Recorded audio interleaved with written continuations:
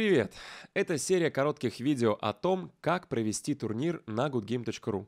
Для начала перейдите в раздел всех турниров из главного меню сайта. Чтобы создать турнир, достаточно нажать на кнопку «Создать турнир».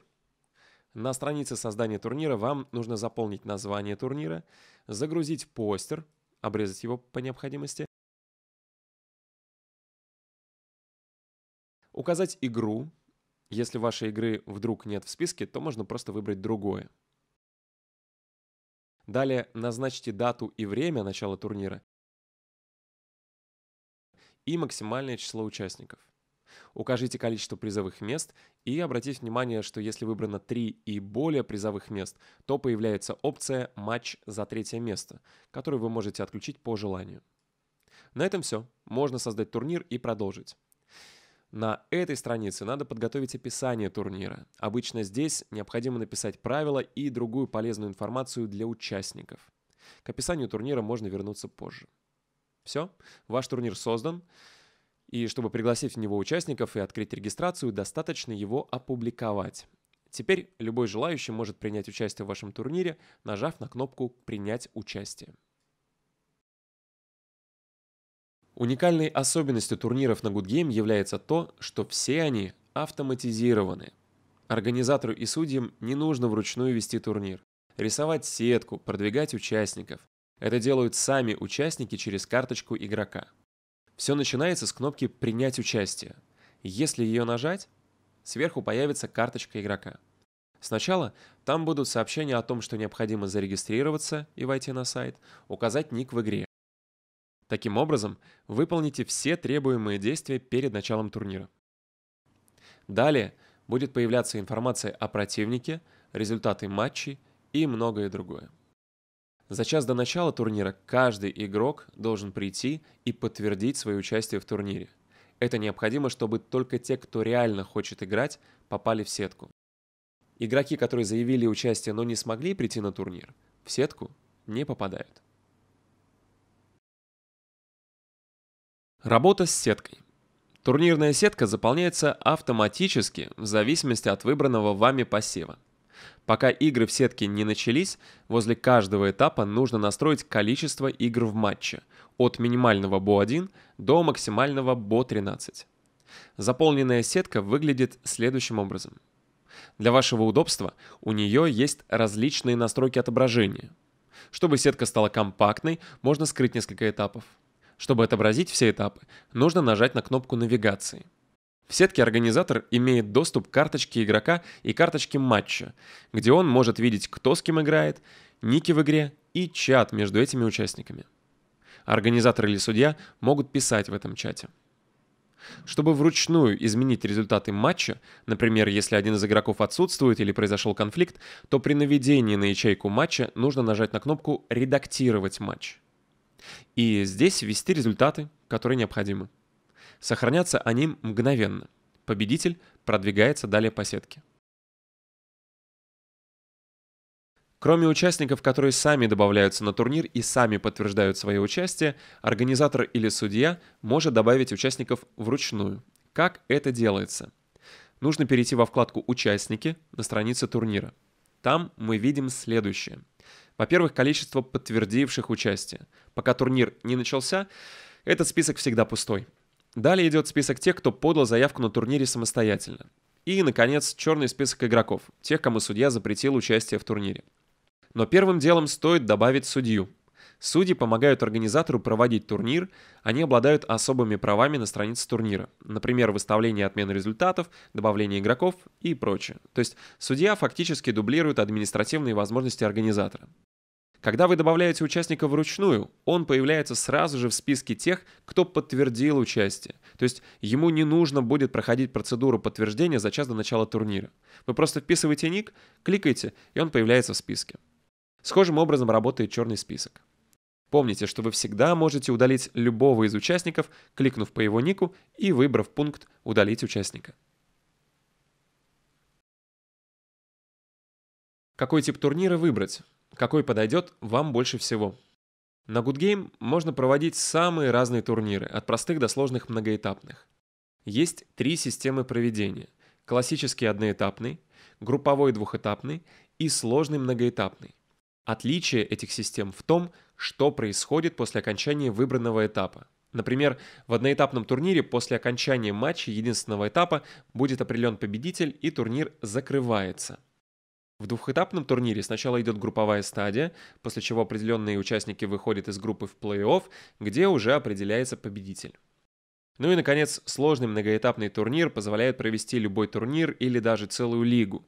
Например, сначала проходят квалификационные матчи, затем идет групповая стадия и, наконец, плей-офф.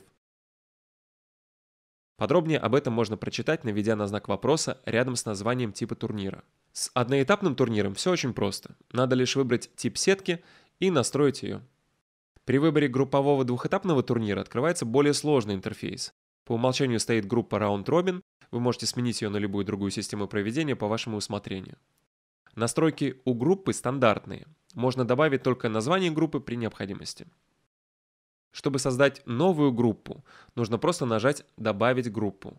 Причем настройки группы копируются с предыдущей, поэтому сначала настройте первую, а затем добавляйте нужное количество оставшихся групп. В конце этого блока написано, сколько участников выходит из этой группы. Вы можете подстроить это число при необходимости так, чтобы они совпадали. Плей-офф. Советуем вам для простоты выбирать Single или Double Elimination. Но вы можете выбрать любой другой тип группы или сетки по желанию. У нас будет просто сингл со стандартными настройками. Обратите внимание на то, что после того, как вы сохраните и опубликуете турнир, изменить завершенный или созданный этап, в котором есть участники, вы уже не сможете. Поэтому заранее спланируйте то, как будет проходить ваш турнир.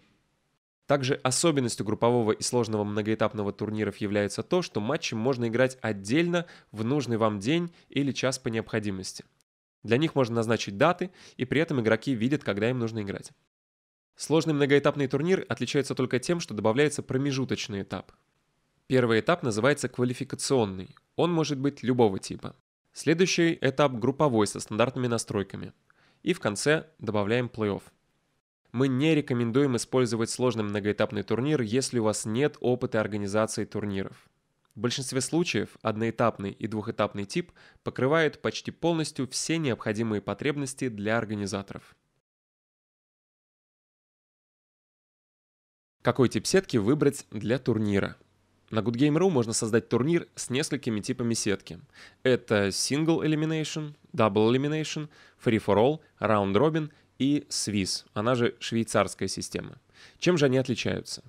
Single Elimination – это стандартная олимпийская система, сетка, при которой проигравший покидает турнир после поражения в матче. При сетке Double Elimination он покидает турнир после поражения в двух матчах.